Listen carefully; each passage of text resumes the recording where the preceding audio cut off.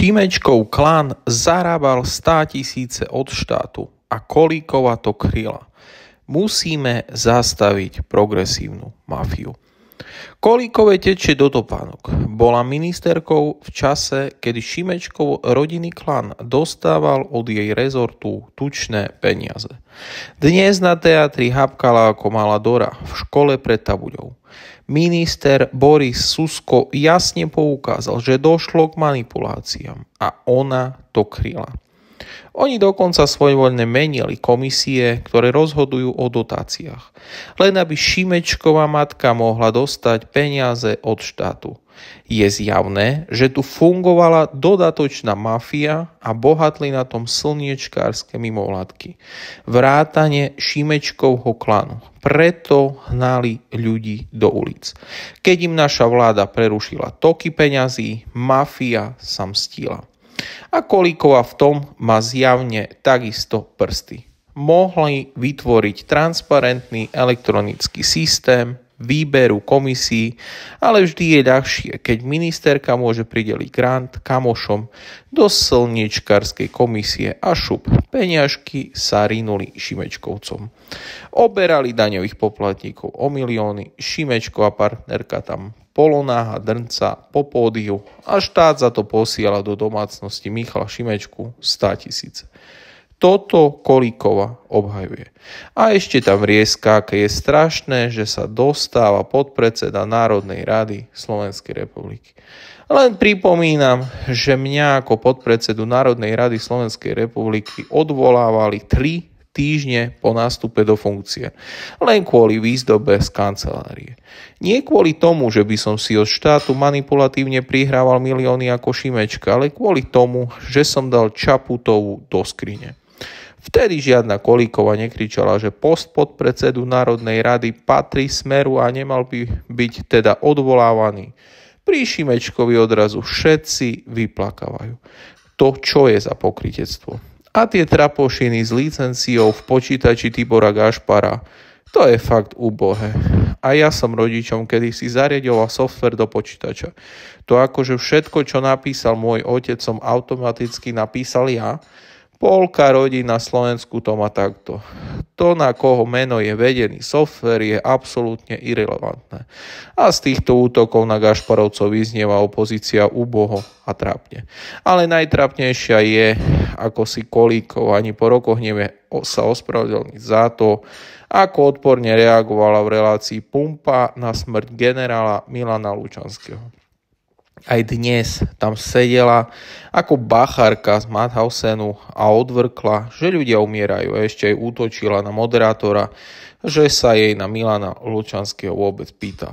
Strčili generála do väzby, hoci nič zle nespravil a tam sa akože podkol opapuču, samovilúpil si oko a potom sa akože ležmo obesil. A Kolíkova tam trepe, že však ľudia umierajú. Generál Milan Lučanský porazil mafiu na Slovensku a strčil do basy masového vraha Mikuláša Černáka. A dnes robí liberálna kaviareň z mafiana Černáka hrdinu a točí o ňom oslavné filmy a zo skutočného hrdinu Milana Lučanského Chceli urobiť zločinca a zniesli ho zo sveta. Toto sú slnečkári. Toto je ich tá spravodlivosť. Kolíková by mohla byť ich maskotom. Cynická, arogantná, nenavistná, s krvavými očami. Nie, nesmieme sa s nimi máznať. Páchali zlo a musia byť potrestaní. Príde čas. Pán Šimečka prišiel so závažným odhalením, ktoré je tak závažné, že ja si radšej k nemu sadnem. Pán Šimečka zistil, že používam nie čierny, nezákonný software, ale software, ktorý zakúpil môj syn pred niekoľkými rokmi a software, ktorý má niekoľko inštalácií. Hovorím o softveri Microsoftu Office. Preto sa objavili niektoré identifikačné údaje, viažúce sa k môjmu synovi. Pán Šimečka, keby ale ten návrh naozaj písal môj syn, bol by som na ňo veľmi hrdý, pretože je napísaný dobre. Ja sa cítim nakoľko svojprávny, že by som vedel o vašom návrhu a o dôvodoch na vaše odvolanie rozprávať aj z hlavy niekoľko hodín. Je však úbohé, ako sa vy bránite, pretože miesto toho, aby ste začal vyvracať všetky tieto dôvody, tak ste sa uchylil k tomu, že tento návrh som nepísal ja. Pán Čimečka, na záver ešte jedno PS, ale PS listové. Slovenská informačná služba je tu na to, aby nás chránila pred bezpečnostnými hrozbami, nie pred príživníkmi. Teraz si zoberte, že v tom zúfalstve, pretože oni nie sú naučení na kritiku, oni si myslia, že budú v takom nejakom prostredí, kde sa im nemôže nič stáť a všetko bude perfektné a zrazu sa objaví nejaká informácia a sú v obrovskom strese a v nervozite. Tak si vymyslia a povedia, že firma môjho syna brala dotácie. No tak, ešte raz. Môj syn je, musím to povedať, čak teraz som obvinený bol, môj syn je konateľom v agentúre Smer, E, ktorá spravuje nehnuteľný a hnutelný majetok Smeru a my žiadame každý rok ako kdokoľvek iný o tzv. chránené diania alebo chránené pracovisko, alebo zamestnávame invalidov. Pán premiér, no, tieto argumenty ste už povedali. Vidíte, vidíte, ako to je. Vidíte, ako to je. Keď mám ja vysvetliť veci, tak už nemôžem. Ja to dokončím tú vetu. To mi jednoducho nemôžete zobrať. Ešte raz. Dokončite a potom tu späť moje človek, otázky. ktorý nemá nohy, ktorý pracuje ako invalid a každý, kto zamestnáva invalida, má právo požiadať štátu podporu na tzv. chránené pracovisko alebo chránenú dielňu. Vy v tom nevidíte rozdiel, že niekto sa trasie v tranze na zemi a pýta si peniaze na všelijaké nezmysly, dokonca na vlastný život, na vlastnú činnosť a tu na invalida ako ktorékoľvek iné pracovisko môžeme požiadať o peniaze a hneď z toho samozrejme... Dámy, vážení páni, musím reagovať na výsledok auditu, lebo som presvedčený, že niektorí si neuvedomili, neuvedomili, čo sa vlastne deje a čítajú naše médiá že sa vlastne nestalo nič.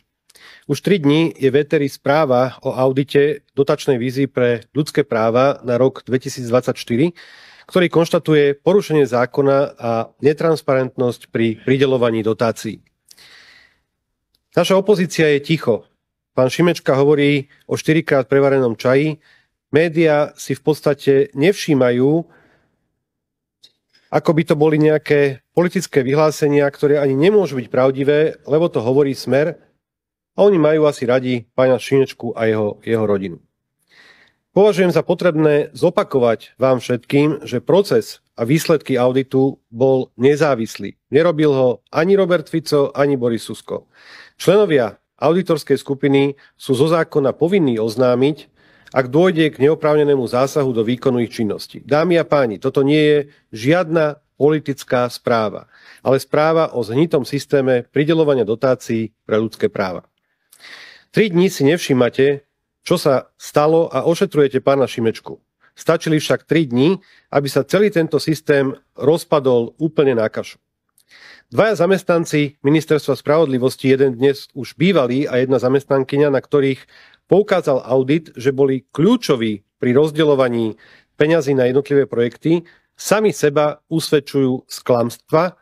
Administrátorka projektov v správe k auditu tvrdí, že s ich pridelovaním manipulovala na príkaz riaditeľa odboru ľudských práv a ten naopak v denníku N hovorí, že on to nebol a všetko hádže na svoju bývalú podriadenú. Dámy a páni, niekto tu klame.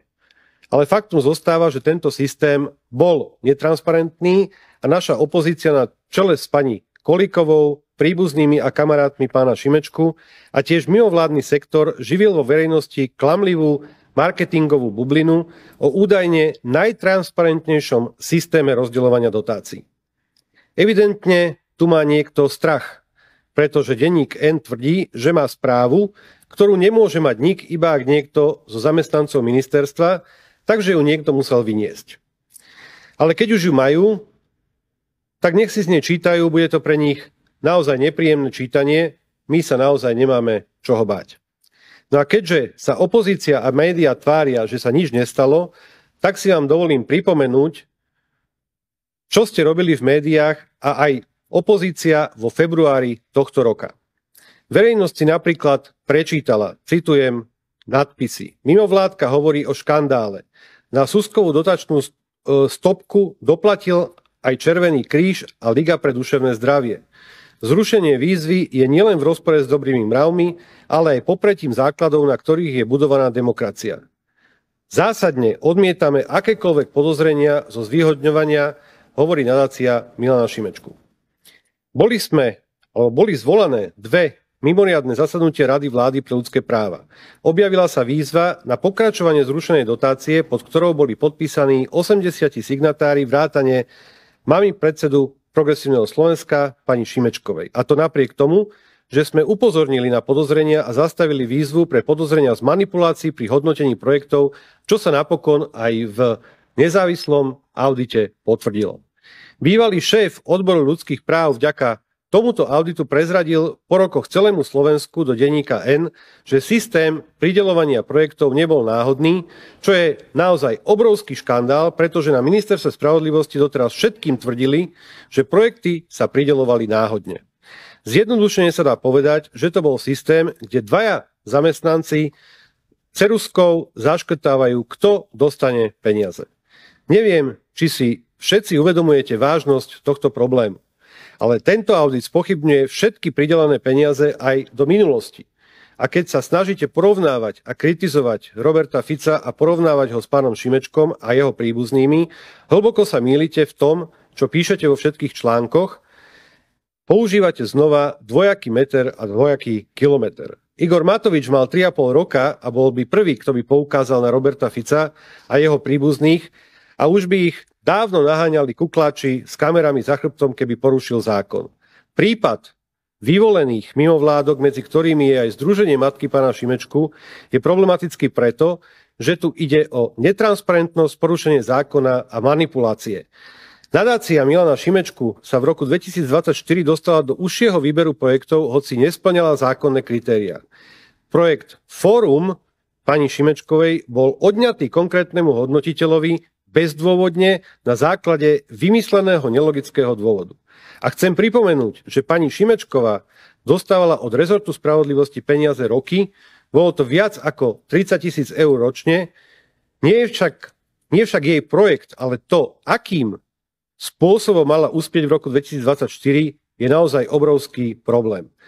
Toto je škandál obrovských rozmerov a ja vyzývam pána Šimečku, pani Kolikovú, aby sa k tomu vyjadrili a aby sa ospravedlnili subjektom, ktoré na ich úkor nemuseli byť úspešné. Dámy a páni, toto je skutočný útok na demokraciu a občianskú spoločnosť. Tri týždne počúvam z úst pána Šimečku, že kradnúť sa oplatí. Toto mal na mysli? Toto sú dôvody, pre ktoré si ma v skutočnosti predvolali na ústavnoprávny výbor, aby som vysvetľoval pána Kováčika? Pre toto ma chcú odvolať, lebo sme odhalili, ako sa dostávali mnohí k peniazom. Vo februári ste útočili na ministerstvo spravodlivosti, že kvôli zrušeniu pôvodnej, pôvodnej dotačnej výzvy peniaze nedostane napríklad Červený kríž. Ale on by ich s vysokou pravdepodobnosťou ani nedostal, pretože ho použili ako rukojemníka vo svojich mediálnych hrách, len aby nás očiernili lebo sme tieto klany chceli odrezať od peňazí, na ktoré nemajú právny nárok. Len pre ilustráciu, každý rok sa dotačnej výzve podarilo uspieť približne 40 až 50 žiadosť žiadateľom, ktorí získali peniaze v celkovej sume 769 500 eur. Pri zrušenej výzve sa do druhého kola dostalo v rozpore so zákonom až 37 subjektov, takže 45 mohlo dostať peniaze, 37 tam bolo protizákonne. V roku 2024 podalo projekty 119 žiadateľov, čiže kvôli spomínanej manipulácii zhruba 60 až 70 žiadateľov by kvôli skupinke vyvolaných, vyvolených nedostalo vôbec nič. Nemali vôbec žiadnu šancu. Takže pán Šimečka, spol, pani Kolíková, zástupcovia mimovládnych organizácií, očakávam od vás odsúdenie takýchto praktík a ospravedlnenie. Nie nám, ale žiadateľom, ktorí mohli byť úspešní a kvôli vám úspešní neboli. Zároveň vás chcem, vás chcem informovať, že ako náhle bude ukončený celý proces, bezodkladne zvolám Radu vlády pre ľudské práva to, k tejto situácii, ktorú popis... Ďakujem ti za sledovanie. Budem rád za like, odber a sledovanie skupín, ktoré nájdeš v popise pod môjim videom.